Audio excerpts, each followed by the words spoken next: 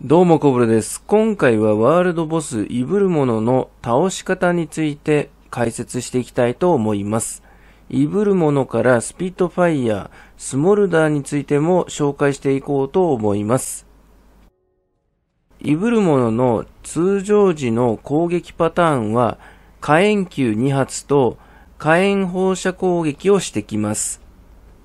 イブルモノの攻撃の回避の仕方については火炎球の回避がバックステップもしくは回避をした方がいいと思います。完璧な回避をする場合はかなりのタイミングが必要となってくるので、この際は回避をした方がいいと思います。いぶるものに関しては強い敵を召喚してきます。こちらの強い敵がイモレーターを召喚してくるので、炎上した状態で突っ込んできます。それをですね、先にイモレーターを処理してから、いぶるものに対処していった方がいいと思います。いぶるものの弱点としては、周囲を集めて立ち上がるモーションがあります。その時に胸のコアにダメージを入れれば、かなりのダメージが期待できると思います。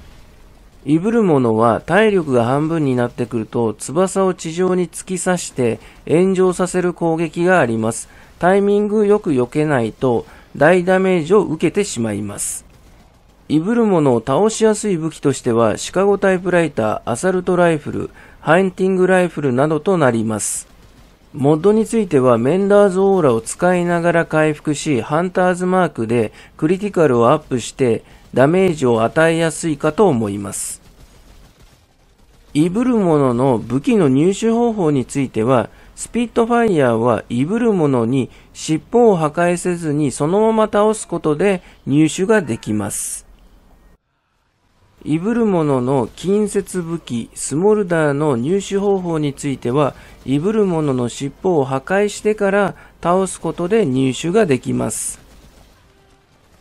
スピットファイヤーの使いやすいやり方としては、ガンスリンガーのお守りやガンスリンガーの指輪を入れることで化けると思います。スピットファイヤーに関しては、連射速度が速くなるため、アーミュレットやリングを装備しておけばいいと思います。